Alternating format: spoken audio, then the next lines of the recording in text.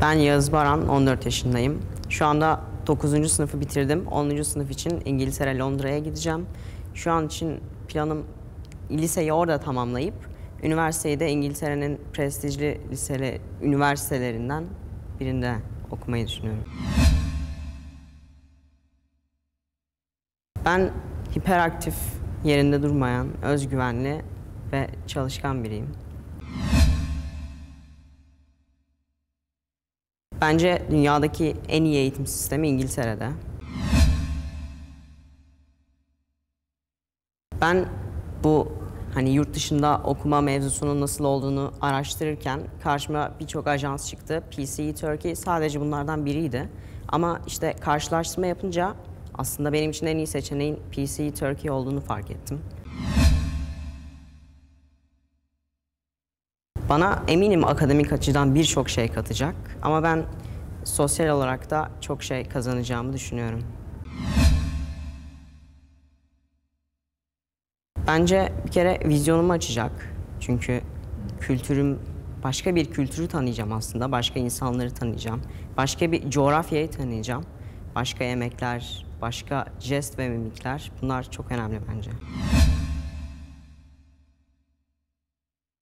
Kere meslek seçimi olarak çok etkileyecek bence. Çünkü ülkemde yapamayacağım birçok mesleği orada yapabileceğim.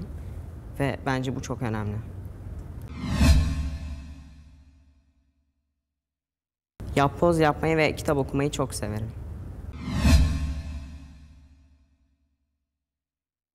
Ee, müzeleri gezmeyi çok istiyorum. Tarihi yerler, mekanlar, bu tür yerler. Çabuk ayak uyduran biriyim. Adapte olabiliyorum. Zorlanacağımı sanmıyorum.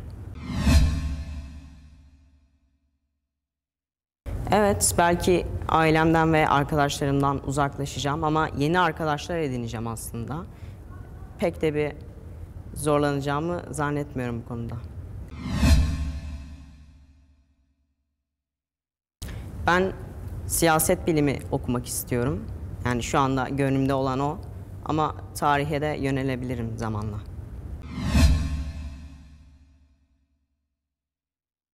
İlk olarak dediğim gibi vizyon ve kültür açısından eminim çok şey katacak bana bu program. Aynı zamanda akademik açıdan da birçok şey bekliyorum. Kamp aslında yaşayacağım o bir yılın veya o sürecin bana bir özeti gibiydi. İnsanlarla nasıl kaynaşılır, insanlarla insanlara nasıl yaklaşılır aslında. Ben burada bunu öğrendim. Aynı zamanda insanların kültürüne yaklaşmayı, insanlarla iletişime geçmeyi öğrendim.